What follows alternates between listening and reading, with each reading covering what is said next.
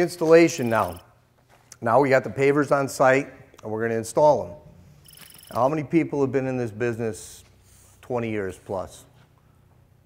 Okay.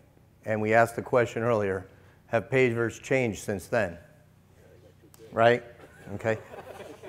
Remember back in the day, and I had one, a paver cart, when we used Holland Stone and we used 6x6 and 6x9, and you pull up there with your paver cart, and you pick up a section, and you bring it over to here, and they can start going, and you can just keep doing that. Or you throw them in a wheelbarrow, and you go, guess where it's at today, right? You're not throwing this in a wheelbarrow, and I don't think anybody's invented a paver cart to pick up the configuration that we have on these bundles these days. So we got to work smarter. We got to save people's backs. We got to save people's fingers.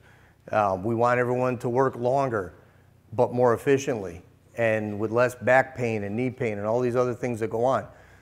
So with these larger format pavers, we have things, again, like our, like our partners that are here today, Pave Tool and Pave Tech, they have the lifting devices, right? We've all used those vacuum lifting devices, either a one person for, for some of the smaller items, or a two person if you have larger slabs, whether it's bluestone or pavers. Um, but you're, you know, you have handle here, you another guy in a handle there, and you're picking it up, you set it in place, that's great. If you have a, a mistake over here or a paver you don't like, you just pick it up and, you know, in place, put a new one in there and call it a day. You don't have that guy that he installed, you know, 800 square feet the day before, the next morning he comes in and he's three feet shorter because he's walking like, I'm not doing that much again today. You know what I mean? We got to use these things to our advantage so that we can be more efficient and get to more jobs and make more money in the long run. That's what we want to have happen.